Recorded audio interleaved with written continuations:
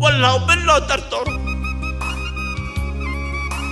و ترس دارم که نشوا خدا ناکرده که مربایس مجبور به خارج شوا و خارج نکنین بلیاز خدا.